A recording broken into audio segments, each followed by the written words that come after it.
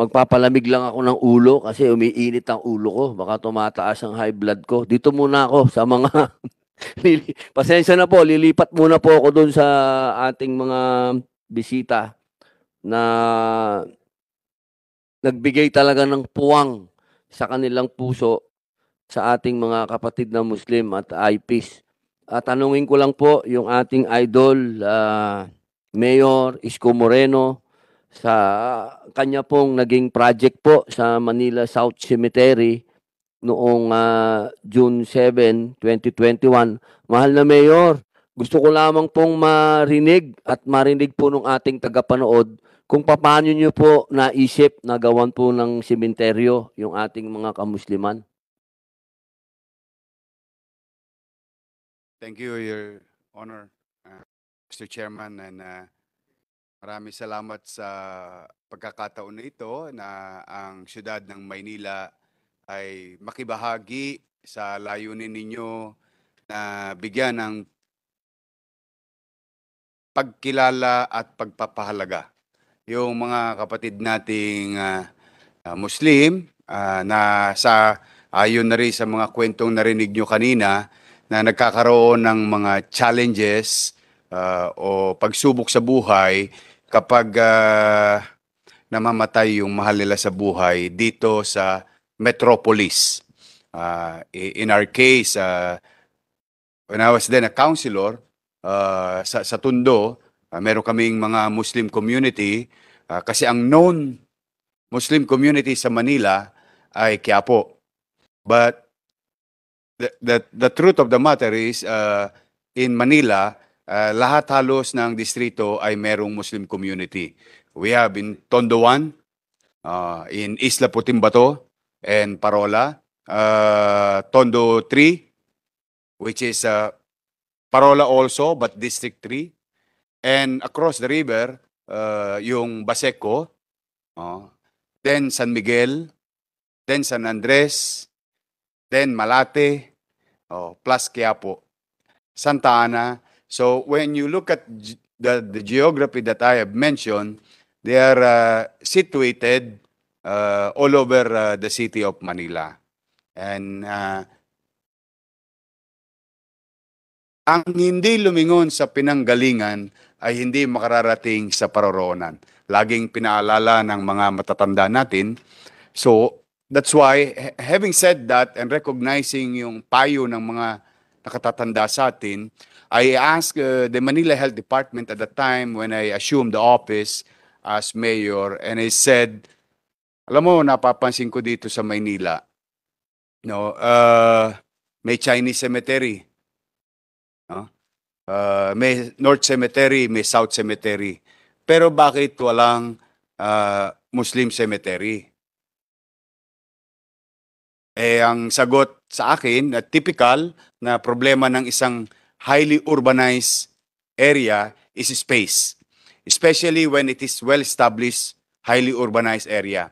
Sabihin, sa mahabang panahon, ah, na-develop na na-develop isang LGU, ah, yung scarcity of space is ah, really ah, a challenge. Ah, kanina, nung nakikinig ako about the two hectares, no? Ah, na posibilidad na numero. Uh, of course, uh, uh, with your uh, knowledge and, uh, you know, uh, that's ng iba pang mga kasamahan ninyo, maaari nyo mapag-aralan yung sukat kapag metro, metropolis, not only Metro Manila, kasi there's Metro Cebu, there's Metro Mindanao or Davao, and so on and so forth. So, noong sinabi sa akin yon na wala nang space, uh, sabi ko, eh, kako, we have to find ways. Uh, hindi naman po pwede na historically, ang Maynila, ang naninirahan sa Maynila, ang mga lahi namin, yung, yung duktong ng ah, kasaysayan namin, ay pinamumunuan ng mga kababayan nating Muslim in the beginning. No? When it was established, uh, and known area of settling area, ang mga natagpuan ng mga dayuhan o mananakop ah, ng ating bansa dito sa Maynila ay mga Muslim nating ninuno. Ah, Ra Suliman, Rahamatanda, uh, Lakandula, uh, Rahabago. In fact, uh, Your Honor, uh, as we speak, there are still streets of Manila in Tondo, Tondo 1 and Tondo 2 that are uh, under those names. Uh, Rahabago sa distrito ni Konsyal Awisia na siyang author uh, ng uh, ordinansa 8062, Ordinance 8062. In our case, sa lugar na kinalakihan ko, isang malaking kalye, Lakan Dula. No? Hanggang ngayon, nag-e-exist yun. So sabi ko, hindi po pwedeng ganoon kasi, yun nga, uh, nung kusyal ako, yung mga kapatid natin Muslim, pupunta yan sa hallway. Yung tinanong nyo pong unang-una, uh, tama po yung unang-unang tanong ninyo, ano ang uh, suliranin ng isang pamilyang Muslim na namatayan? Pamasahe. Tosgas, Your Honor. Madalit salita. Kasi madalas yan, iyo... Time na ako. so, Di ba, di ba, di ba, di ba? Wala, okay lang po. Ano, Madalas ay- po yan, no, ah, mahihirap nating kababayan. Mahihirap po yan. Marami po dyan. Maraming mga Muslim nating kababayan naghahanap buhay sa Manila or trade, but marami rin sa kanila talagang nagdarahop. No? Kaya pag namatay yan, I think you know better than me that in a certain period of the day, of hour, kailangan mailagay na sa himlayan yung nasi, na matay nilang mahal sa buhay. But the challenge is, most of it goes to Mindanao. And that costs money. Oh. Kaya sabi ko sa MHD, hindi, we have to look into this kasi hindi po pwedeng ah, kakaligtaan na natin oh, para ma- mawala na rin yung mga ang tawag yan, mga prejudice sa isa't isa. Sabi ko, we have to recognize uh, their existence. They're in our school. In fact, some of our employees are Muslim brothers and sisters. In our public education system, meron pa kaming inilaan na special na para sa kanila, sa mga batang ah, Muslim. O, sabi, di awa naman ng Diyos, uh, Your Honor, uh, meron kami nakita, sad to say, in the beginning, bulok na lugar. Tal- nabubulok namin. Uh, kami ang nagpabaya as bilang uh, pamahalang lungsod. Uh, sa parte ng Makati, uh, meron kaming pag-aari doon, o what we called South Cemetery. Nung nakita ko yon, uh, sabi ko, oh, malaki ng espasyo ito. Uh, 2,400 square meter. And uh, modesty aside, uh, Your Honor, uh, if you see a 2,400 square meter in Metro Manila, uh, it's uh, it's gold, no? Ah, ah, sabi ko, o sige, ito nang titirahin natin. O kaya lang linisin niyo ito. Tapos sulatan niyo na yung mga ilang ah, nakalibing, may ilang piraso nakalibing pero napabayaan na ng kanilang mahal sa buhay. Talagang durug-durug na po at ah, bukas na yung mga nicho. So then uh, after a few uh, a few a few months, no, nalinis, o, tinambakan namin, then we appropriated. That's where I went to the city council uh, sa tulong ni uh, uh, uh, Kusial Awi Sia. Sabi ko, gawan nyo ng batas oo, para talagang hindi siya yung para lang gawin. Kundi ilagay natin sa batas at kilalanin siya na nakalaan para sa mga kapatid nating uh, Muslim. Uh, through the help of our uh, director, uh, Shay, uh, na nabuo namin, yung maganda po yung mga nakalagay dito sa mga batas ninyo, eh, pati yung pamamahala, o yung kapasidad ng taong namamahala, yung nakakaalam sa kultura at tradisyon ng namamahala, saktong-sakto po yun. Kasi yun po yung sinuggest uh, ni Direktora Shay na dapat ang mamahala dyan ay mga kapatid din nating Muslim. Sila po ang nagsuggest nun. Then the structure, uh, sabi ko, isahin na natin. Libingan, ah, may hugasan, ah, may dasalan, may admin, oh, tapos ililibing. Parang one-stop shop na. Hindi na nila kailangan kasi oh, ang isang mahirap na Muslim, ah, I mean, mahirap na tao uh, for that matter, pag nasa squattero, espasyo rin ang, ang problema. Kaya pag dinadasalan nila, medyo talagang nasa silong lang ho yan. Uh, minsan, uh, I've, I've seen it in, in my life. No? So doon, uh, may maayos na proseso silang nagagawa at matiwasa namang nahihimlay nila yung kanilang mahal sa buhay. And it became a tourist spot. Would you know, uh, uh, Your Honor, uh, ang ikinalulugod namin, uh, it is a separate, uh, it is inside South Cemetery, but separate, nakabakod, the property dedicated for our Muslim brothers and sisters. So ngayon, naging pasyalan siya kasi kung makikita niyo po yung disenyo, eh, medyo nangopya po ako ng kaunti uh, yung mga nakita ko sa Iran na na mga design. So uh, dahil yun ay matagal na kaming may utang.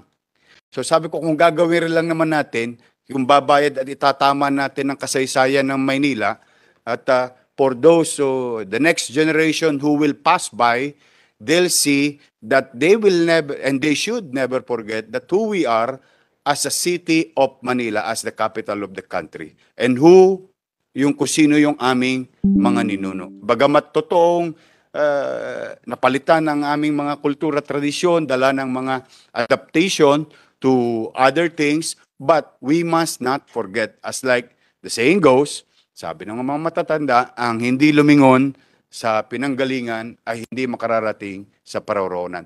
Diyan po nagsimula yung sabi nga namin, uh, long overdue. And I think you're in the right position now, uh, Your Honor, uh, to rally, uh, to encourage uh, each and every local government unit to do the same.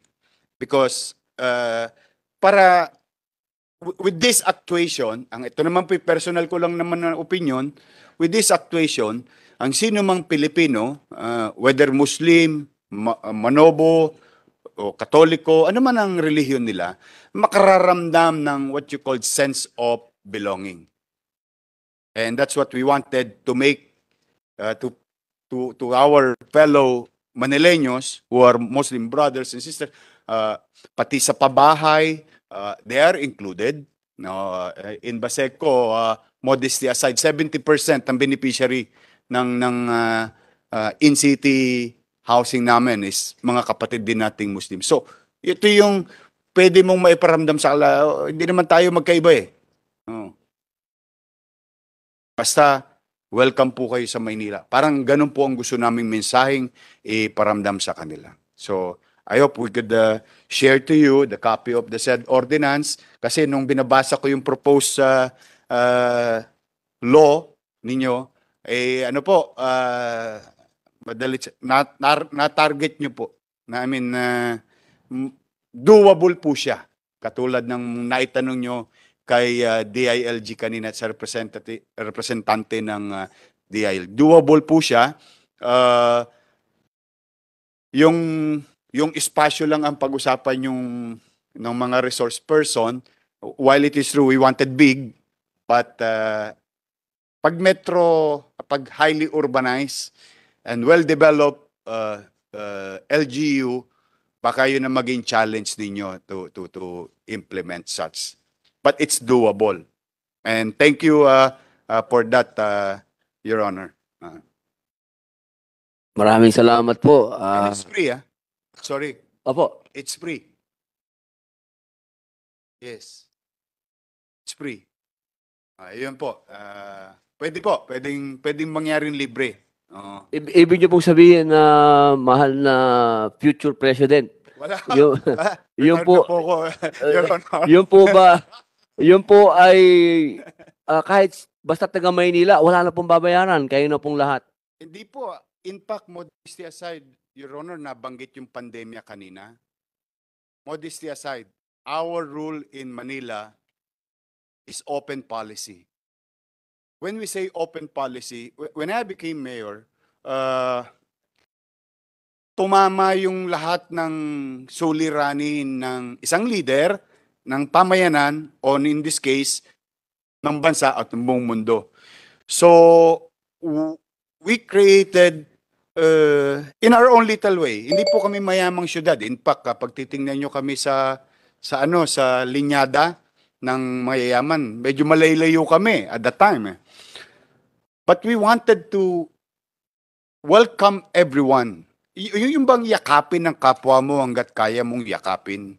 O, kaya po yung open policy namin, nung sa COVID, sa gamot, sa resources, sa pagkain, pati ho sa paglibing. Kasi totoo po yung kwento kanina na nagkaproblema ng malilibingan yung iba nating mga kababayan Muslim. So, hindi lang namin siya inilalaan sa Maynila, ah, ang mga taga Maynila, kung kinakailangan, ipit, walang kakayan ng dalhin, ah, eh, mahal po ang eroplano, uh, welcome naman po namin. Ah, yan po ay is a matter of policy of the City of Manila Ah, na pwedeng ah, himlayan ng ah, mga mahal nating ah, kapatid na Muslim na nagdadalamati at that time. Napakalinaw po nung kahit po hindi taga Maynila. Opo. 88 na tayo ngayon. 88 na po. Ang, ah, ah, ayun, na, nailibing. Maayos po para pong ano, modesty aside, para ho kayong nandoon sa BGC ng libingan. No. Opo, Hindi pe, po siya talagang ano me- po. meron pong picture eh. Pwede po nating, pwede po nating mapakita ah, yung picture para makita po natin yung modelo. Yan na, no? Ano po siya, naging ah, tourist spot ng mga kapatid nating Muslim. Kasi may, das, may ano po yan eh. May prayer area yan. Ah. Kaya, ito po yung prayer area. Pag, pag, pag from there, no, you'll see on the right side, doon po yung hinuhugasan, ah, washing area. Ah, as per ah, suggestion nila Direktora Shea at ng mga kapatid nating Muslim, pati ng imam, on how paano i-build yung wash washing area. After that, pupunta po dyan, yung left side, admin. So, pag sa labas, makikita po ninyo, ah, ayan po, ang linis pong tingnan, yung white stone ba yun? Yung may, may nilalagay sila. Pag tinignan nyo po, pan, tombstone, pantay na pantay po. Ah, hindi na po yung mapapasin nyo parang may umuumbok na pamisa-misa nakikita natin sa ah, sementeryo. Mm. May pathway pa ho sa ambulansya kasi may gate po yan. Gated siya. Yung katulad nung mga na-experience nyo na parang namamaltrato yung ah, yung libing yung libing Ah, katulad yung nabanggit niyo kanina no ito hindi nobody can go there unless maglilibing ka at schedule ka maglilibing na Muslim nating mga kapatid nating Muslim. So they have uh, semblance of authority uh, inside the the premises. Ayan po. Uh, meron kang picture sa labas, wash area. Ayan yung gate. Ayan po yung gate. Ayan po yung kinopya ko sa yung disenyo sa Iran. No, nakita ko po kasi sa picture ng mga mosque sa Iran. Sabi ko maganda to ah. And uh, I'm happy with Shay and the architect na sinunod naman yung ano. So hindi siya lang ordinaryong wall, butaso siya, but uh, it's a secluded uh, area uh, in Makati.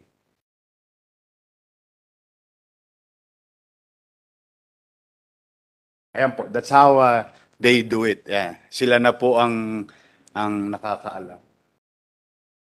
As you can see, flat po talaga. Kasi nil- nilevel po namin siya. Mga 300 may trucks na. Ang tinab- lubugo yan. Eh. Kung familiar kayo doon sa may kalayaan, kapag umuulan, nagbabaho yon pupasok ko yung tubig dyan dati. So we went beyond the ano, uh, street level. In-elevate po. Ah.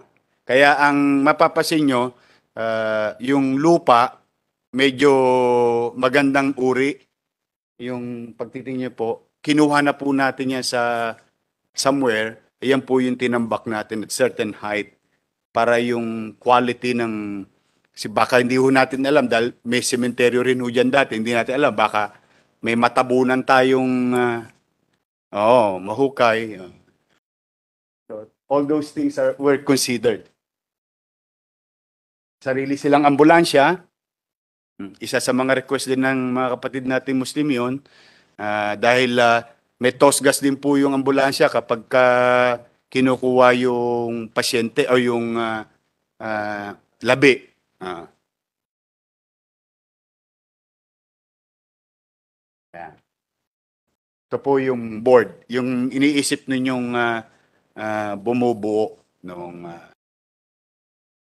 Oh, lagi po. Oh, te. Kaya ano po eh. Yung iniisip nyo talaga eh, ano eh, ah, napapanahon. Ah, bagay na bagay po. And ah, I would like to commend you for that eh, simply because ah, on behalf of, ito, matagal ko po itong katrabaho, si Shay, I'm happy for them that there is a, a bill uh, uh, similar like uh, things that ah, na nangyari na, na, na pwede na, na ngayon escalation na lang. I-escalate na lang, I mean, uh, palalakihin na lang, palalawakin na lang. So thank you, Your Honor, uh, Mr. Chair, to other resource person. Napaka ah, ganda po ng ah, pinakita sa atin ng ating ah, idol na mayor ah, Isko Moreno. Ah, ito na po yung model eh. Meron na tayong model. At ah, ang pinakamaganda pong punto pa ron, sa kalagitnaan ng sinasabi nating highly urbanized talaga. Kaya pwede po talaga, katulad ng sinabi po ni Asik Doni,